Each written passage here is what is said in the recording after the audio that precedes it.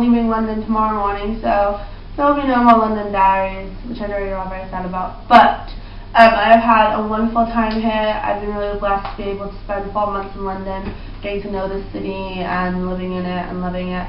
Um, so, sorry about that. But the other thing I want to tell you is I'm going to be taking a little break from making videos, probably for a month or maybe a couple months. Um, so, sorry. You should watch some other videos in the meantime, or watch all of my videos back to back, and you will be so happy you did.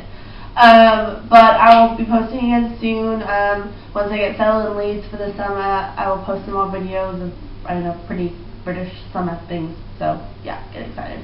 Um, but in the meantime, if you want to check out my blog, which is gracehatton.wordpress.com, um, you'll be able to read a lot of the poems that I've written since I've been in London, mainly for my romantic poetry class um, and also just in general murmurings about London.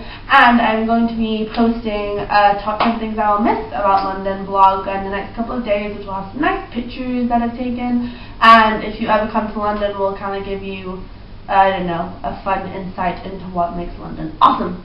So, yeah, go check that out at gracehatton.wordpress.com. Um, watch some of the videos, have fun, and I will see you again before you know it.